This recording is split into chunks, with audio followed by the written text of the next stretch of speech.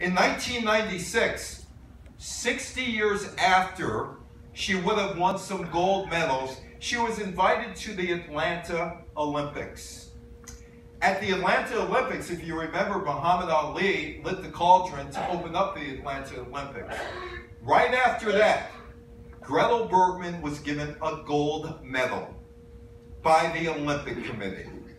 Why? They knew she would have won at least two, probably three gold medals in Berlin. And to right or wrong, 60 years later, Gretel Bergman got her gold medal. Gretel just passed away, 103 years old. She was a track and field coach in Queens, New York. She faded into obscurity. Nobody knew who her pat, what her past was because she was Margaret Lambert. She was not Gretel Bergman. She changed her first name and took her husband's married name. She came back into consciousness when I interviewed her. It wasn't because I interviewed her, although I'd love to take credit for it. She came back in 1993 when all of a sudden people started looking into Gretel Bergman and whatever happened to her.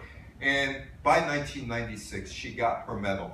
I do recommend Gretel Bergman, that was, I think, in 2002. Glickman was in 2014, 2015. If you want to know more about both of them, Bergman, Hitler's Pawn, and just Glickman. Now, there was no Olympic. Oh, forgot about Wolfgang Fürstner. Ever hear of Wolfgang Fürstner? Nobody in here has ever heard of Wolfgang Fürstner. First. And you shouldn't have heard of Wolfgang Fürstner, except he was the Olympic village coach in Berlin.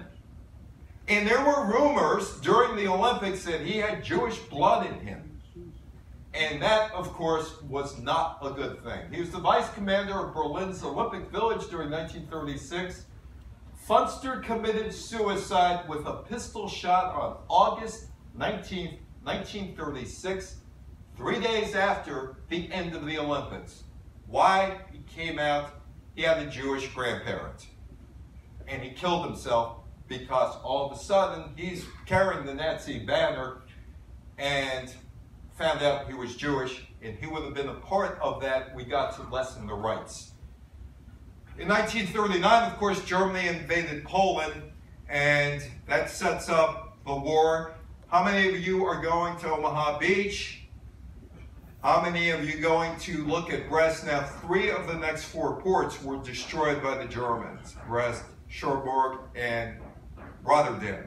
And if you're going to go through Rotterdam, you're going to still see some of that damage because the Germans threw everything at the port of Rotterdam. Everything. Germany, of course, invades Poland on September 1st, 1939, and the Olympics stop. By the way, I just wanted to one shout out for my profession. The woman who broke the story that Germany invaded Poland was somebody by the name of Clare Hollingsworth, who also just passed away at the age of 107. It was a woman. You know, we are so macho in my business. The guys are so macho in my business it was a woman who broke the story World War II started. Just chalk that up. Anyway, uh, there's no Olympics in 1940, and there's no Olympics in 1948. They resume in 1948 in London and St. Moritz, both in Europe. Marty Glickman never got a chance to run again. By the time he was able to run, which would have been 1948, he was 30 years old. That's over the hill in the track and field business. Sam Stoller was also 31 years old over the hill in 1948. And Gretel Bergman was certainly over the hill in 1948. They never fulfilled their Olympic dreams. And I asked each one of them about that, and Gretel was not bitter. Sam was on the fence.